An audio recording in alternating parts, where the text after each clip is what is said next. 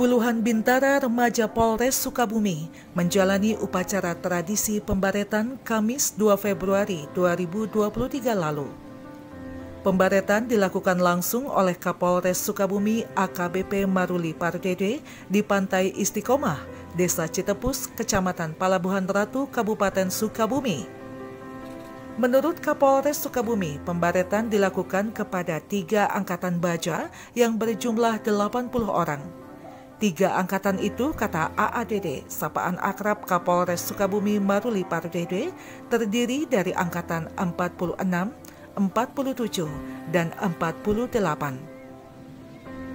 Sebelum pembaretan, para baja terlebih dahulu menjalani sejumlah ritual jalan kaki yang dimulai dari Mapolres Sukabumi, Cimanggu, Citepus, Cikakak, dan Pantai Istiqomah.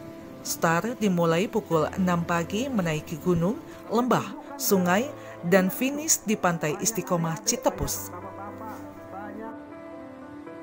Harapannya dengan pembaretan ini mereka sadar, mereka tahu beginilah karakteristik daripada situasi di wilayah Kabupaten Sukabumi. Sehingga nanti mereka sudah sadar, mereka siap untuk terjun ke lapangan apabila nanti disebar ke satung-satung ataupun ke posek-posek dan mereka siap untuk menjalankan tugasnya dan bermanfaat bagi warga Kabupaten Sukabumi. AADD berharap para baja sadar dan tahu karakteristik dan situasi wilayah Kabupaten Sukabumi, sehingga siap terjun ke lapangan. Pasalnya, ke depan mereka akan disebar ke satuan fungsi atau polsek.